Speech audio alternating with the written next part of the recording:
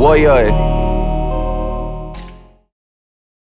Alright, so we're to finish up the complete uh, truck front end overhaul. One of the, I guess, problems, it's not really a problem, just, you know, another modification we're going to have to do is, see here, on my stock F-150, it's got a front camera. And you can see here on this grill, there's not a front camera port. So what I'm going to have to do is I'm going to have to cut out this section here and then kind of fit from behind let's get the focus. The camera like that. So we're gonna have to do a little modification. Like I said I'm gonna have to do a couple drilling a little sanding and then we got some plastic weld. So yeah I'm gonna show you how to add a front camera to your Ford Raptor grill. Alright let's get started. Hopefully I don't mess up this grill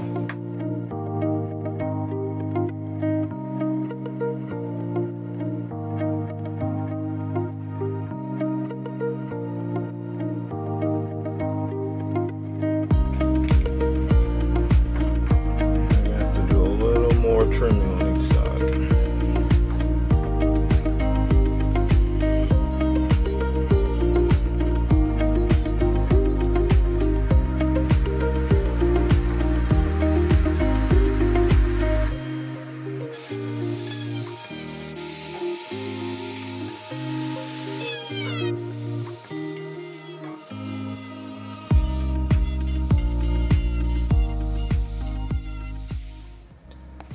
Alright, so here's the test fit after I did some, I guess, cutting with the Dremel.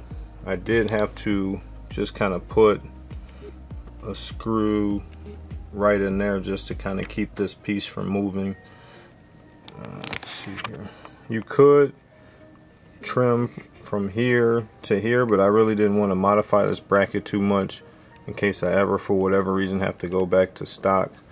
So I'm going to take it out you can see the test fit. If you trim, if you go little by little, you shouldn't have to use too much plastic adhesion, but you can see here, took out the middle part of the honeycomb, and then I trimmed right in there, so that way this piece right there will fit snug. So this is what it looks like from the back, and I'll show you what it looks like with the camera in the front. So here, I'll show you, pop it in there, like that. Pop it in there snug and then I'll flip it to the front so you can see. And that's what it looks like in the front. So let's kind of pan out a little bit.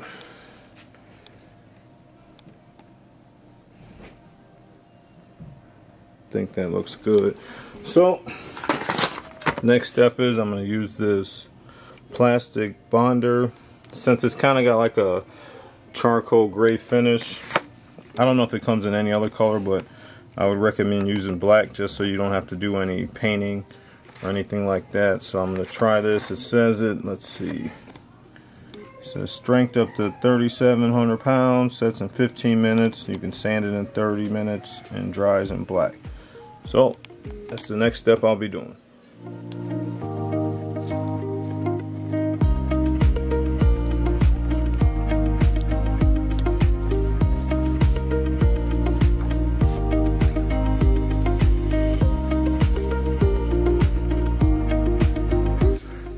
Got it all mixed up. So, start putting it on the grill and hopefully this goes alright.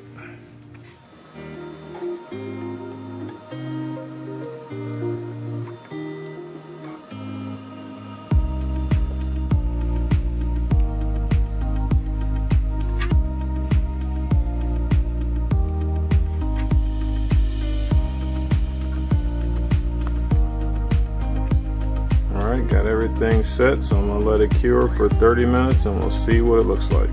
A few moments later.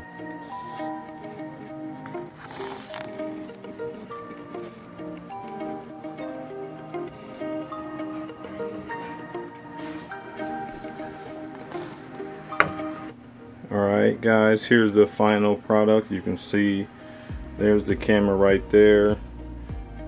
And I think it looks pretty close to stock. You can see there. And it's in there good. You can push on it, do whatever. That's not going anywhere. Just pan out a little bit.